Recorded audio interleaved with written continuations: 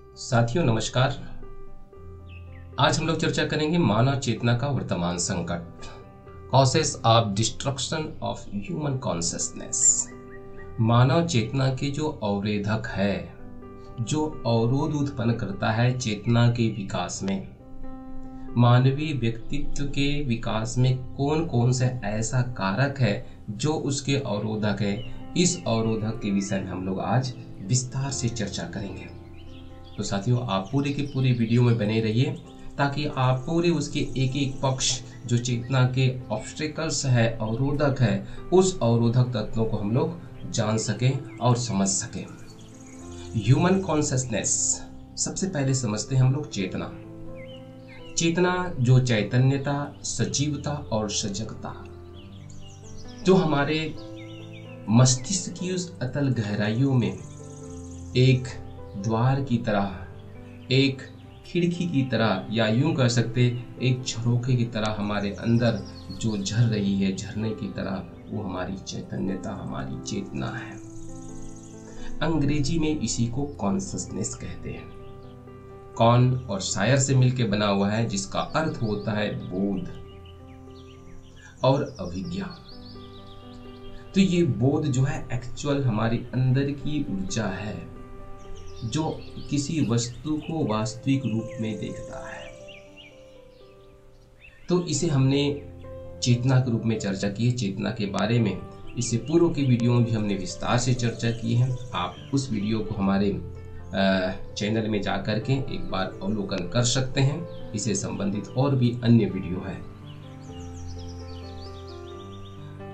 मनोरोग के बारे में आचार्य पंडित श्राम शर्मा जी ने कहा है कि मानसिक रोग और कुछ नहीं, कुचली, मसली, रौंदी हुई हमारी भावनाएँ हैं। जो हमारे अतिरिक्त इच्छाएँ होती है, अतिरिक्त कामनाएँ होती हैं, वो कामनाएँ और इच्छाएँ ही जब उसे दबा दी जाती है, उसे रोक दी जाती है तो वही कालांतर में एक मानसिक रोग के रूप में हमारे सामने, उभर के सामने आता है। विभिन्न प्रकार के मानसिक रोग जैसे समाज में बढ़ती हुई हिंसा की वजह से अपराध, आतंक और आत्महत्या, ये सारे के सारे जो उत्पन्न हो रहा है, ये सारे मानसिक रोग उत्पन्न करने के पीछे कारक भी है। और ये मानसिक रोग जो मनुष्य क्या है, अंदर ही अंदर क्या उसे खा जाते हैं, कीड़े की तरह। प्रख्यात मनोवैज्ञानिक कार्ल जुंग के अनुसार, मानसिक क्रियाओं के अवरोधक यदि हमारी मानसिक विचारधाराएँ प्रवाहित हो रही है, प्रस्फुटित हो रही है, उसको यदि किसी तरह से कोई रोकता है, वो है क्या?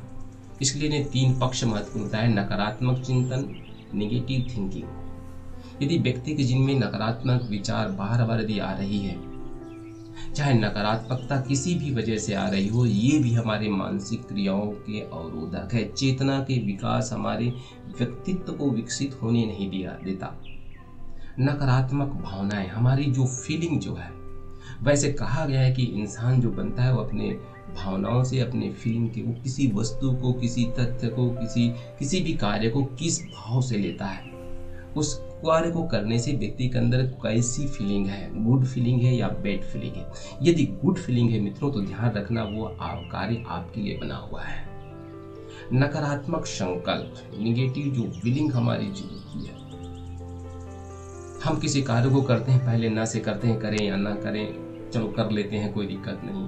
तो कोई भी कार्य को नकारात्मक भाव से शुरू करना, ये भी हमारी मानसिक क्रियाओं के अवरोध है क्योंकि हम उसके अगला दरवाज़ा को बंद कर हैं उसके अनंत जो दरवाजे हमारे चेतना के, उस चेतना के, उस दरवाजे को, उस खिड़की को हम लोग क्या करते हैं? बंद कर, झरोखे को बंद कर देते हैं।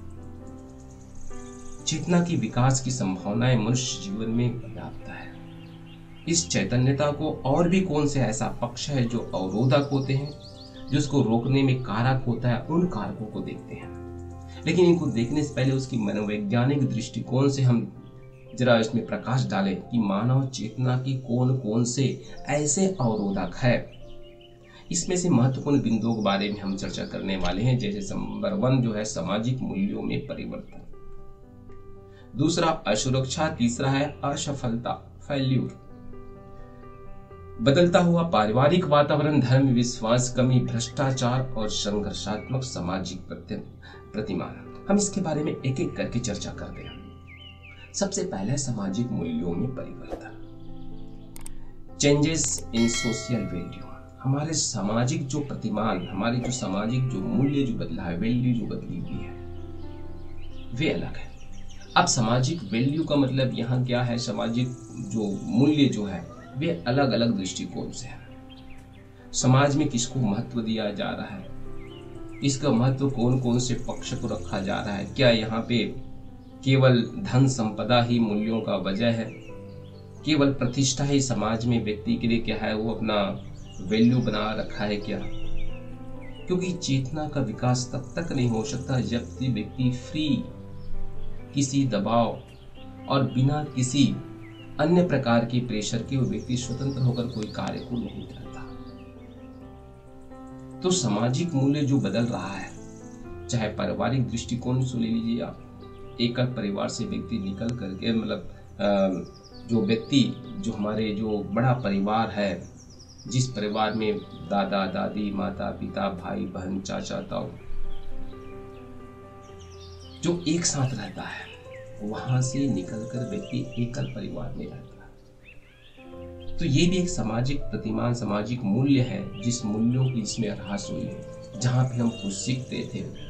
जिसमें चाहे तो वो सम्मान और सहकार की भाव दोनों की ह्रास हुआ है उसमें। क्योंकि समाज में परम पूज्य गुरुदेव ने कहा है, समाज में यदि किसी प्रकार का ह्रास हुआ है, उसका दो ही कारण है। एक है, बड़ों को सम्मान नहीं मिला और छोटों को प्यार नहीं दिया गया। सम्मान और प्यार, प्रेम, ये दोनों का अभाव ही सामाजिक मूल्यों में परिवर्तन का मूल कारण है। यदि सहकार और सम्मान व्यक्ति के जीवन में आ जाए तो हमारा सामाजिक मूल्य और समाज की जो कष्ट है, समाज की जो प्रॉब्लम है वो प्रॉब्लम भी सॉल्व होता हुआ चला जाएगा। समाज में केवल और केवल पैसे को ही, रुपयों को ही क्या है? ज़्यादा महत्व दिए जाने लगा है। मानवीय अस्तित्व की मतलब जो सत्य है या उसके अंदर की ईमानदारी है, उसके अंदर की व्यवहारिक जीवन है, इसकी वैल्यू व्यक्ति कम करता जा रहा है। तो साथियों, हमें ध्यान रखना पड़ेगा अपनी चेतना के विकास के लिए सामाजिक मूल्यों में जो परिवर्तन आया है, उसको अपने व्यक्तिगत जीवन में, अपने सामाजिक जीवन में और पारिवारिक जीवन में उसे ज़्यादा केवल पैसे को ही, केवल रुपये, पैसे को वैल्यू न दें, बल्कि उसके अंदर की संस्कार, उसके अंदर की सहकार, उसके अंदर की जो प्रेम है, उसको भी हम उभारने का प्रयास करें। नंबर दूसरा है असुरक्षा इनसिक्योरिटी जो इनसिक्योरिटी है, ये महत्वपूर्ण है चेतना के अवरोधक। हमारे जीवन के प्रत्येक पक्ष में देखिए व्यक्ति चाहे कितनी भी ऊंचाई में चला जाता है, वो चला जा रहा है, चला जा रहा है। जीवन का कोई अंत नहीं है, कहाँ जाना है उसको? लेकिन भविष्य में क्या होगा उसको भी पता नहीं। आज समाज में जो चारों तरफ़ देख रहे हैं, आतंकवाद के रूप में हो, चाहे किसी प्रकार के और भी परिवारवाद के रूप में देखा जाए जो जितने भी हमारे सामने जो समस्याएँ इस समय उभर के सामने आ रहा है, ये भी हमारी असुरक्षा का एक कारण है। तो जब तक व्यक्ति सुरक्षित नहीं होगा, अपने आप को सुरक्षित फील नहीं कर सकता तो व्यक्ति का अंदर का जो इनर पावर विकसित कैसा होगा? व्यक्ति कुंद हो जाता है। व्यक्ति की सोचने और समझने की विचारधाराएँ तभी प्रस्फुटित होती है जब व्यक्ति स्वतंत्र होकर के फ्री ऑफ़ माइंड कुछ चिंतन करता है, कुछ सोचता है, कुछ क्रिएटिविटी पैदा करता है। अगर व्यक्ति स्वयं ही असुरक्षित है, असुरक्षा के भाव से ग्रसित है तो वह व्यक्ति कभी भी समाज में न तो विकसित हो सकता है और न ही विकास कर सकता है। तो असुरक्षा भी हमारे क्या है? चेतना के एक महत्वपूर्ण अवरोधक पक्ष के रूप में है। असफलता। नंबर तीसरा जो फेल्यूर वैसे परम पूज्य गुरुदेव ने कहा है कि असफलता केवल यह सिद्ध करती है कि सफलता का प्रयास पूरे मन से नहीं किया गया। अब व्यक्ति इस असफलता को किस दृष्टिकोण से लेता है, ये महत्वपूर्ण है। अगर व्यक्ति असफलता को असफलता के भाव से लेता है तो उसके निश्चित तौर से चेतना अवरुद्ध हो जाती है। लेकिन यदि व्यक्ति इस सफलता को अगर कहता है कि एक असफलता मेरी अगली सफलता के लिए क्या है, एक पाठ है। एक पाठ सिखा जाती है हमारी असफलता अगर व्यक्ति इस दृष्टिकोण से लेता है तो व्यक्ति अपना व्यक्तित्व का विकास करता है। तो ये फेल्यूर अगर व्यक्ति बार बार जीवन में असफल हो रहा है तो उससे भी व्यक्ति को क्या है? एक जो निराशा का जो भाव आता है, वे उनके चेतना को अवरुद्ध करता है। लेकिन हमें प्रयास ये होनी चाहिए कि असफलता से सीखना चाहिए और सीख करके आगे बढ़ने का प्रयास करना न कि असफलता में ही कुंद होकर के रुक जाए। क्योंकि प्रत्येक व्यक्ति के जीवन का कार्य, प्रत्येक व्यक्ति के अलग अलग उद्देश्य और लक्ष्य होता है और अलग अलग कार्य को प्राप्त करने के लिए व्यक्ति कटिबद्ध होता है। इसलिए असफलता से हारना नहीं चाहिए, बल्कि आगे बढ़ना चाहिए। चेतना को विकसित करने का प्रयास करना चाहिए, क्योंकि चेतना यहाँ पे अवरुद्ध होती है। चौथा है, बदलता हुआ पारिवारिक वातावरण। हमारा जो चेंजिंग फैमिली इन्वायरमेंट जो है जो इन्वायरमेंट जो पहले का जो हमारा जो एक समूह परिवार में, बड़ा परिवार जो हमारा था, जो ग्रुप फैमिली था, वो ज़्यादा प्रसन्नता और खुशी से भरा हुआ था। क्योंकि एकल पारिवारिक व्यवस्था हुई, परिवार की व्यवस्था एकल हो गया। इस एकल पारिवारिक व्यवस्था के अंदर बहुत सारा स्ट्रेस तनाव और चिंता ने घर कर गया। क्योंकि छोटा बच्चा जो अपने दादा, दादी और परिवार के अन्य लोगों जो सीखता था वे पारिवारिक प्रतिमान सब कुछ नष्ट हो गया। मित्रों, ये भी एक अवरोधक है। बच्चे जिसे सीख पाता था, बच्चे दादा दादी की गोदी में बैठ करके जो कहानियाँ और जो शिक्षाप्रद व्यवहार जो सीख पाते थे, बच्चे आज उससे वंचित हैं। आज केवल टेलीविज़न, टीवी, मोबाइल, केवल इसमें ही व्यक्ति क्या है पड़े हुए हैं। तो ये भी एक मूल्य है जिसके वजह से व्यक्ति की चेतना जितनी विकसित होनी चाहिए, वो विकास की दर डिफरेंट है। तो हमें चाहिए कि प्रवादी मूल्यों को भी हमें बनाए रखना चाहिए, जिससे चेतना का सही विकास हो सके और विकसित होकर के आगे अपने जीवन लक्ष्य को प्राप्त कर सके। धर्म में विश्वास की कमी। धर्म है कहा है, कहा गया है, धार्यते जनई रीति धर्म। जो व्यक्ति को धारण करता है और उसे आत्म कल्याण की ओर प्रेरित करता है, उसकी सामाजिक कल्याण की ओर प्रेरित करता है, क्योंकि धर्म वह है जो व्यक्ति खुद को इस लोक और परलोक दोनों लोकों में जो कल्याणकारी हो, वही धर्म है। धर्म को हम संप्रदाय के रूप में बांट चुके हैं। लेकिन वास्तविकता धर्म तो ये है कि व्यक्ति अपने आत्मा के साथ, अपने आसपास पूरे वातावरण के कल्याण की जो भाव सोचता है। अपने साथ दूसरों की कल्याण की भाव जो सोचता है, वह धर्म है। कि धर्म है जो धारण करता है।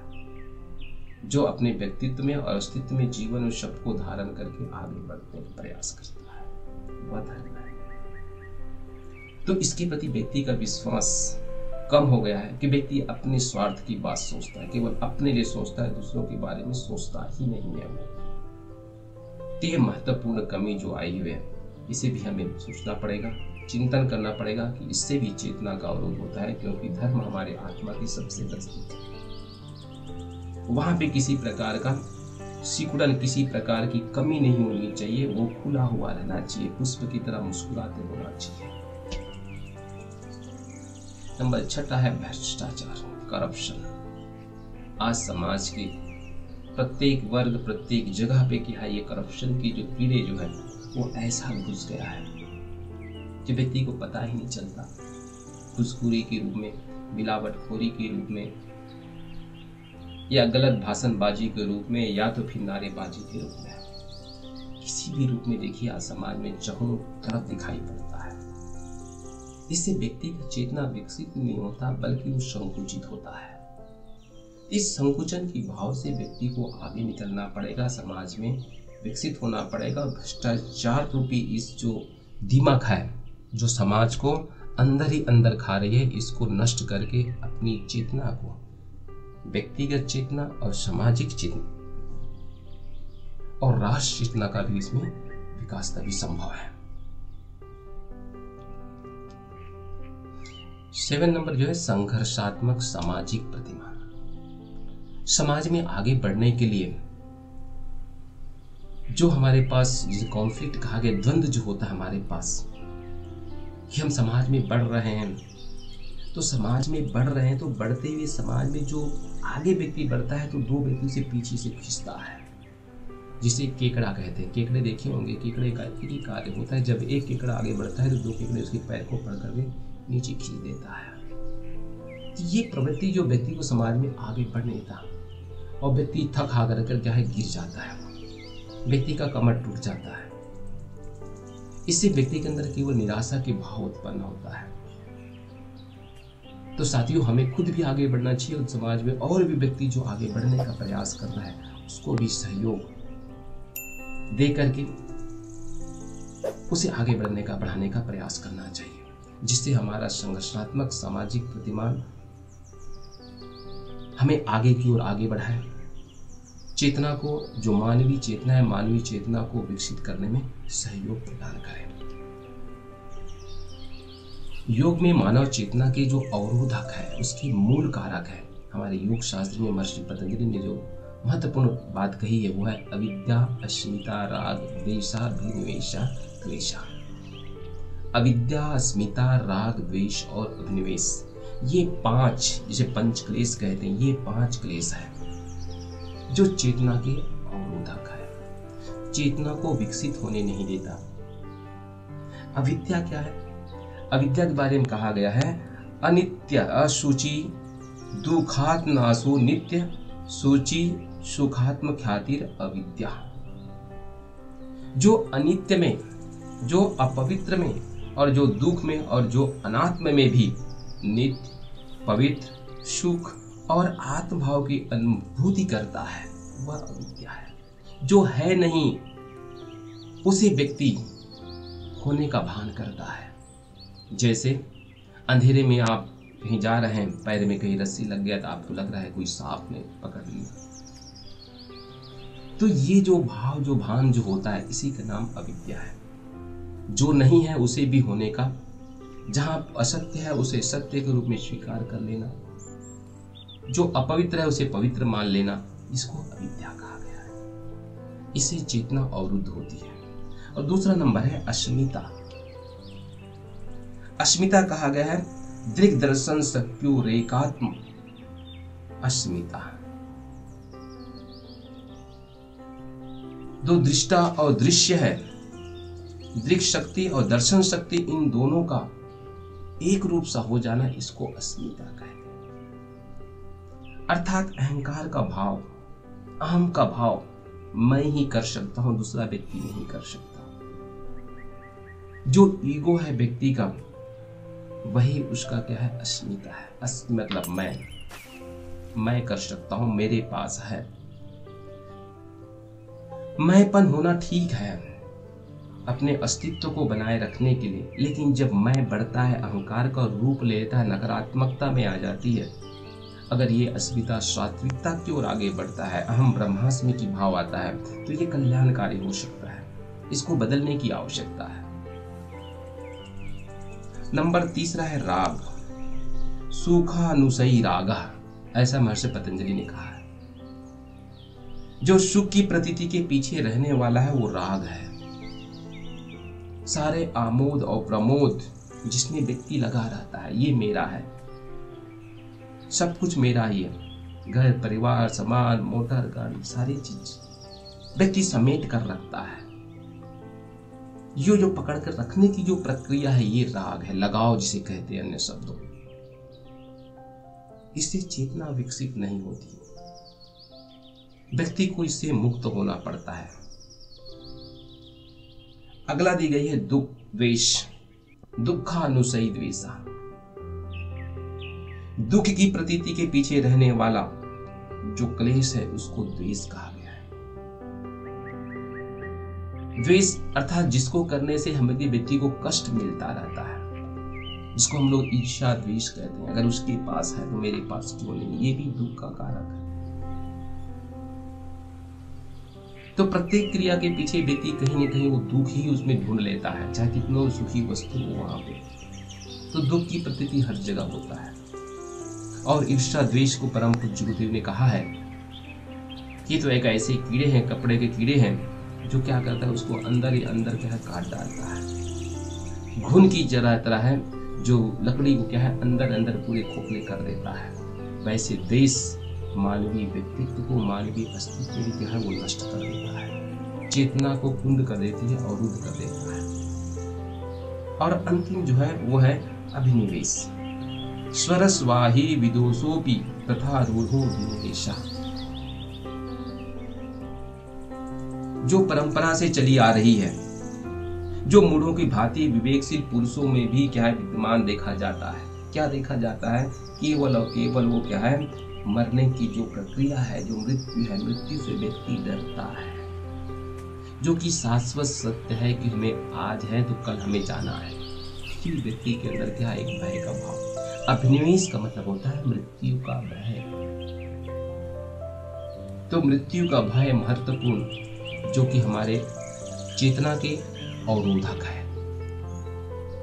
पूज्य गुरुदेव ने जो आत्मबोध तत्वबोध की साधना बताई कि प्रतिदिन सुबह का समय एक नया जन्म और रात्रि हमारी मृत्यु है, ये जन्म और मरण के बीच की जो गति वो तो योग की है। तो इसको जीना, अगर ये व्यक्ति जीता है तो समझिए वही सच्चा योगी है और वो चेतना का विकास उसके जीवन में होता है।